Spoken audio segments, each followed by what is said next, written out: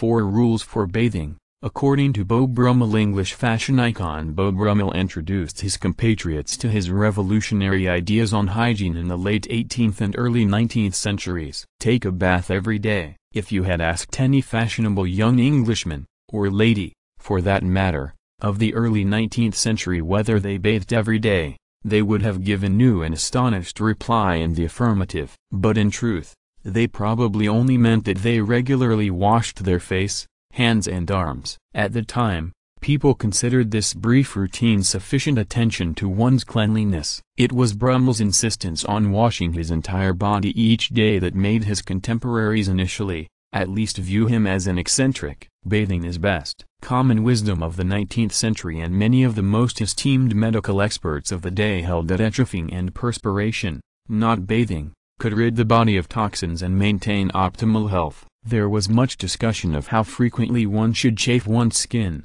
which involved vigorously rubbing it with a towel or length of linen, as well as what types of fabric promoted the most beneficial level of perspiration. In fact, heavy materials like wool and cambric often won out over lighter weaves because consistent perspiration was thought to be central to a person's well-being. Brummell maintained that soaking rather than sweating rid the body of germs and grime. Always bathe in hot water. 19th century Europeans believed that cool or even ice-cold water did a body more good than a steaming bath. Interestingly, warm water was considered too exciting to the body and prone to produce a shock to the system, opening the floodgates of disease. Nevertheless, Brummell would use his coal cellar to heat up gallons of water for his daily dip. Of course, few of his contemporaries had the resources to afford this luxury and many didn't even have a bathhouse or tub in the first place. Avoid powders and ointments after your bath. Beau Brummell's fashion ideals favored simple,